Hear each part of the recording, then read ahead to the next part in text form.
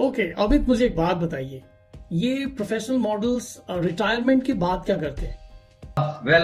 very good question and I would say that बड़ा हो या छोटा हो कोई भी हो जैसे एस्पायरिंग हो या वेल स्टैब्लिश्ड हो सुपर मॉडल्स हो या I think they all go for one alternate career options क्योंकि एक टाइम के बाद आपका जो है ना क्या होता है कि यू uh, आपके जो फ़ीस होते हैं, जो फ़ीस स्ट्रक्चर है you demand more with time you know when you get famous when you get like and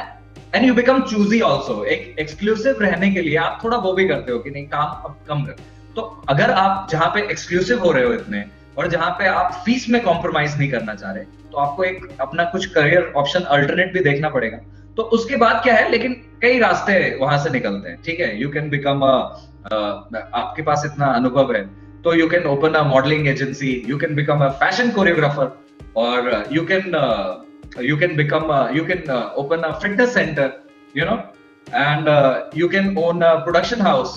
और ये सारी बातें मैं जो पिछले सक्सेसफुल मॉडल uh, रहे और फिर सक्सेसफुल बिजनेसमैन रहे और जिनका करियर अच्छा रहा, ये सब मैं उनके बिहाफ पे बोल रहा हूँ। जैसे कि मैं खुद अपने आप को जैसे अगर मेरा एग्ज़ाम्पल आप लेंगे तो मैंने भी अपना एक प्रोडक्शन कंपनी साथ में स्टार्ट किया है तो